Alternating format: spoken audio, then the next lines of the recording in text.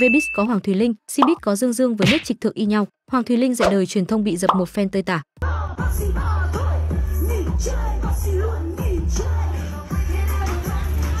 Ủa quên lời hay gì? Em thấy giọng chị có hay không? Bản thu âm thì hay nha chị. Nay tới Dương Dương ra lệnh cho fan im lặng hết đi. Người hâm mộ đi che chở binh vực idol hết mình.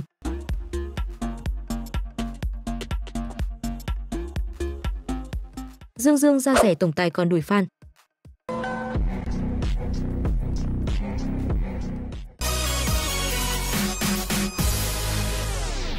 Trịch thượng có lẽ là từ khóa hot nhất tháng 9 này, bởi không chỉ Vbiz mà giờ Cbiz cũng đang rộn ràng bàn tán về Dương Dương. Chiếc đỉnh lưu từng được bao người yêu mến nay bị chê trách không thương tiếc vì cách đối đáp với fan như bề trên. Nếu ai theo dõi Vbiz chắc cũng ít nhiều biết đến drama của Hoàng Thùy Linh.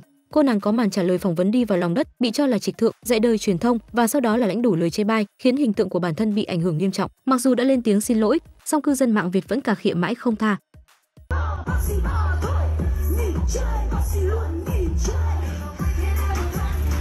Ủa quên lời hay gì?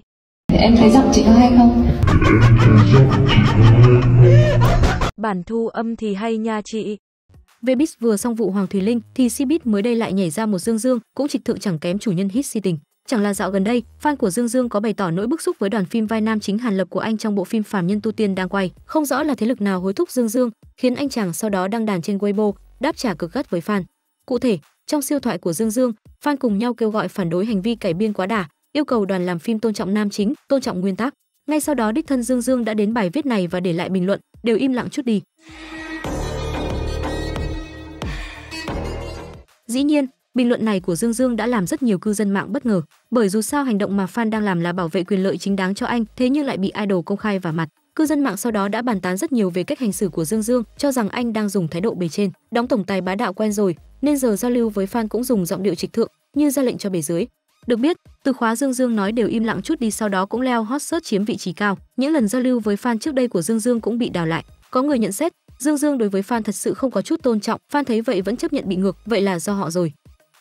Trong một số màn giao lưu với fan được cư dân mạng đào lại, có lần Dương Dương đáp trả fan chê lông mày không được đẹp. Anh viết, trướng mắt bạn rồi, cha sinh mẹ đẻ ra đã như vậy rồi đó. Hay có lần, fan góp ý về ekip trang điểm của Dương Dương, nam diễn viên cũng để lại tận 3 bình luận trách mắng fan và bênh vực người của mình. Bạn bị sao vậy? Hay là bạn đến make up cho tôi? Nói thêm một câu nữa, bạn vui lòng tôn trọng đối tác của tôi. Cái kiểu chỉ trích này thật sự rất quá đáng. Đỉnh điểm nhất phải kể đến lần anh chàng có comment đuổi fan như đuổi gà. Chẳng là fan góp ý tạo hình không đẹp, Dương Dương liền nói thẳng, mối quan hệ giữa chúng ta là tôi sáng tạo, bạn thưởng thức, không thích, unfollow đi. Hiện tại, sau màn đối đáp khó nghe với fan, hình ảnh của Dương Dương đã xuống cấp trông thấy. Trước đó, danh tiếng của anh đã bị ảnh hưởng bởi nét diễn đầy dầu mỡ trong pháo hoa nhân gian của tôi. Giờ lại thêm vụ này, không biết cảm tình của người qua đường dành cho Dương Dương sẽ rớt xuống mức nào nữa.